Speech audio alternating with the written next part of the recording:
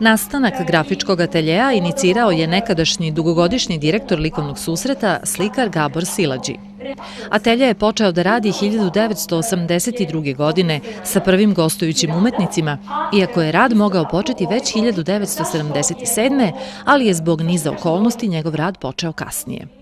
Akademski grafičar Petar Šadi preuzeo je stručno vođenje ateljeja 1978. godine. On je izradio pravilnik o radu grafičkog ateljeja koji reguliše uslove rada i boravka umetnika kao i način njihovog pozivanja.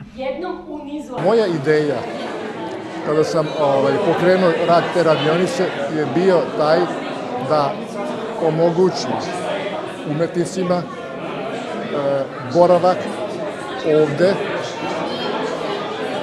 takav koji će im omogućiti da rade bez problema.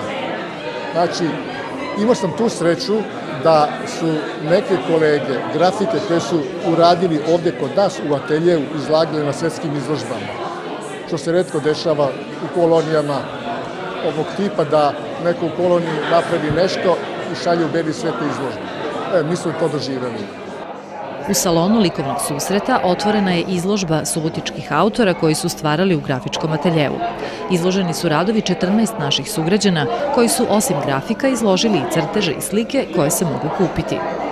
Svoje radove izložili su Aleksandar Botić, Jasmina Jovančić-Vidaković, Miroslav Jovančić, Edita Kadirić, Emil Kadirić, Ervin Kanjo, Ksenija Kovačević, Ljiljana Krtinić, Milan Marković, Mirko Molnar, Sergej Radulović, Petar Šadi, Melinda Torok i Lea Vidaković.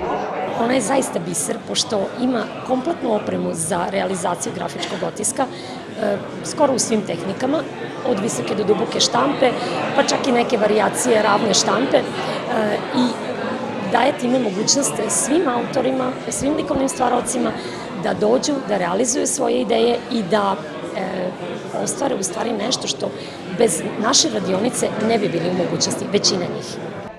Specifičnost radova nastalih u ateljevu je u tome što oni u potpunosti nastaju pod okriljem same galerije i autorima se ne određuje i ne sugeriše tema. Radom ateljeja se konstantno obogaćuje bogata zbirka grafika galerije. Prodajna izložba će biti otvorena narednih mesec dana.